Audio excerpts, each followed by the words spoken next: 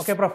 Di luar isu Laut Cina Selatan nih, Prof, kalau dalam konteks internal ASEAN, apakah kemenangan Marcos Junior ini uh, akan berdampak pada stabilitas kawasan ASEAN nih, Prof?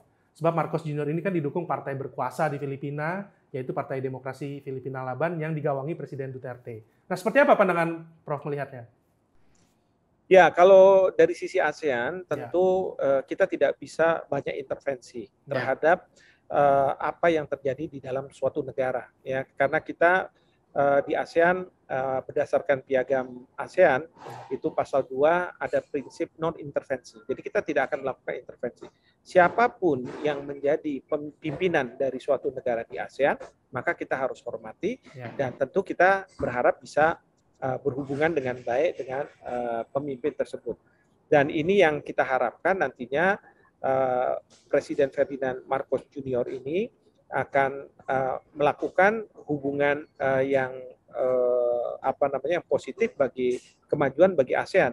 Saya berharap nanti mungkin presiden baru akan berkunjung ke sejumlah negara ASEAN termasuk Indonesia untuk uh, memaparkan visi misi beliau, lalu bagaimana uh, beliau bisa berkontribusi untuk kemajuan ASEAN dan seterusnya dan seterusnya.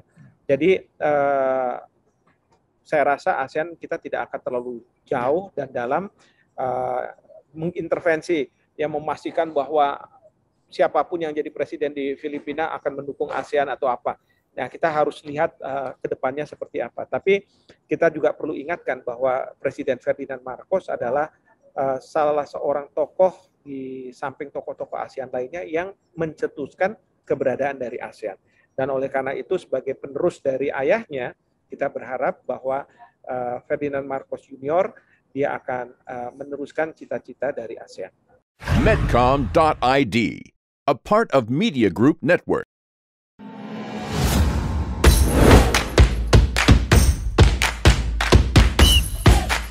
Bubur ayam kalau diaduk-aduk jadi cair.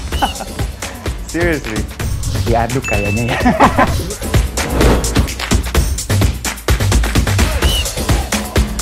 oh, perlu luar negeri gimana ya? Ini, ini demi kemajuan bangsa Indonesia.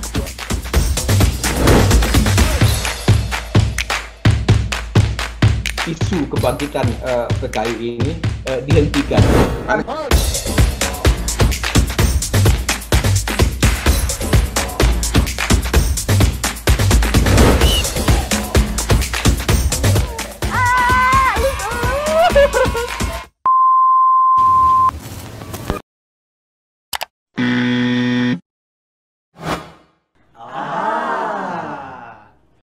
Medcom.id a part of Media Group News.